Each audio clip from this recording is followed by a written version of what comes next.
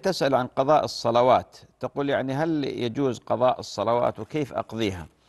فوزية بارك الله فيك بالنسبة لمن فاتته الصلاة على قسمين شخص نسي صلاة أو نام عنها مثلا ها فإنه يجب عليه أن يقضيها وذلك لقول النبي صلى الله عليه وآله وسلم من نام عن صلاة أو نسيها فليصلها إذا ذكرها لا كفارة لها إلا ذلك. هذا فيما يتعلق بنسيان صلاة أو صلاتين أو ثلاثة. والنبي عليه الصلاة والسلام نسي الظهر والعصر والمغرب في غزوة الخندق فما صلاهما إلا بعد المغرب قضاء عليه الصلاة والسلام. أما إذا كان الإنسان قد كان تاركا للصلاة في أول حياته أو كان مصليا ثم والعياذ بالله ترك الصلاة فترة من الزمن طويلة هل يقضي ما فاته أم لا؟ قولان لأهل العلم. القول الأول قالوا يقضي. عليه القضاء وجوبا وأن ذمته مشغولة بهذه الصلوات وذكروا مجموعة طرق لقضية الصلاة منها أن يصلي مع كل صلاة صلاة وينوي بها ما فاتته في آه، يعني في أول حياته أو في الفترة الزمنية التي كان لا يصلي فيها.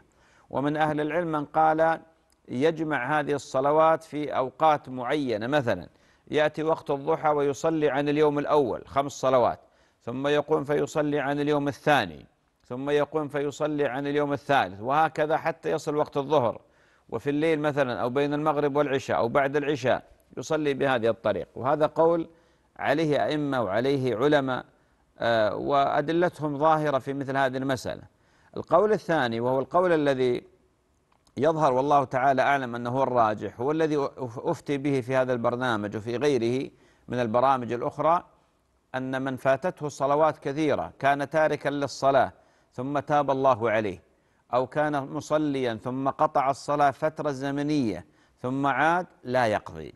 لا يقضي وإنما عليه التالي. أولا يواظب على الصلوات من الآن لأن مواظبته على الصلوات علامة التوبة الصادقة النصوح.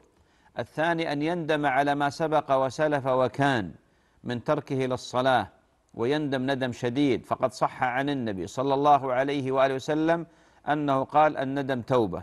الأمر الآخر أن لا يترك هذه الصلوات مطلقا وإنما يحرص عليها والحرص عليها يكون ببذل الأسباب. ومن جملة الأسباب الحرص على السنن المؤكدة الرواتب هذه لأن هذه خادمة للفريضة. السنن خادمة لهذه الصلوات. فيحرص على السنن القبلية والبعدية ويحرص على قيام الليل ويحرص على صلاة الضحى.